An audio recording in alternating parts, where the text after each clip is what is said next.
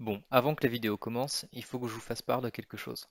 J'ai eu un gros problème sur la Play et j'ai perdu plus de 400 jours. Du coup, il va y avoir des scènes tournées sur le PC et je pense que je vais rester sur le PC pour la suite des vidéos parce que 400 jours, j'avais juste fait un travail énorme et c'est pas la peine que, je le fasse.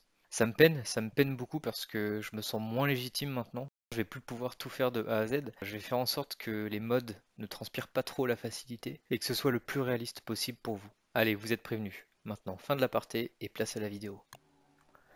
Donc, on craft notre expérience incomplète et on va avoir besoin de passer par deux étapes de construction avant de faire apparaître le champion céleste. Pour la première étape, on va avoir besoin de Moon Glimpse, de pierre de lune infusée et d'un statique. Je rappelle pas comment on fait pour les obtenir, c'est décrit dans ma première vidéo sur la mage. Deuxième étape de construction, un statique encore, ouais c'est un peu chiant, notre orbre céleste et la pierre de lune infusée. Ensuite, c'est la fin de la construction le champion céleste va apparaître sous une pluie de météorites. Donc le voici, le champion céleste. Comparé à d'autres boss, celui-ci est plutôt simple et demande peu de préparation.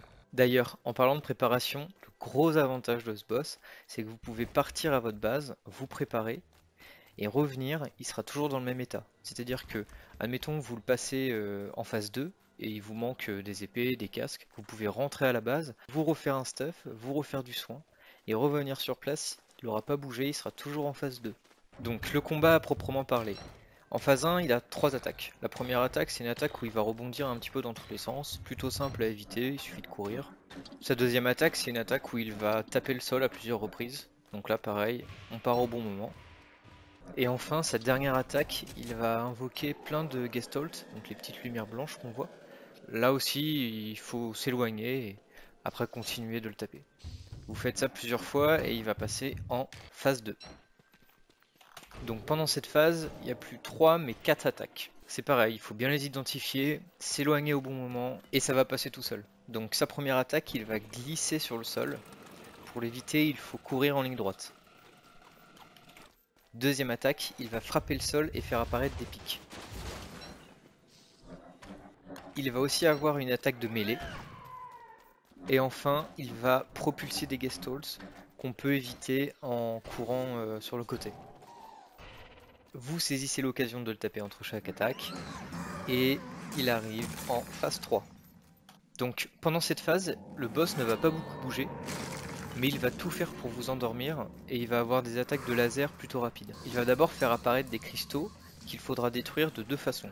Soit avec le bâton de météo, soit en le laissant les détruire via ses attaques de laser. En fait, il vous sera difficile d'aller le taper tant qu'il y aura ces cristaux, parce que si vous passez sur euh, l'aura qui est autour, ça va vous endormir. Bon sinon, l'attaque des lasers, euh, tout ce que je peux vous dire, c'est faites de votre mieux pour l'éviter.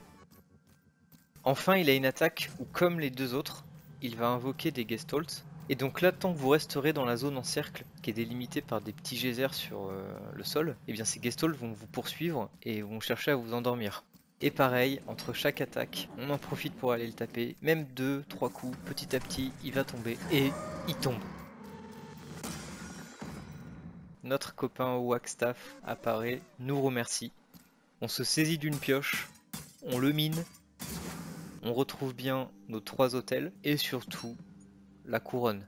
Cet item est complètement éclaté à condition que vous ayez au moins 85% de sanity.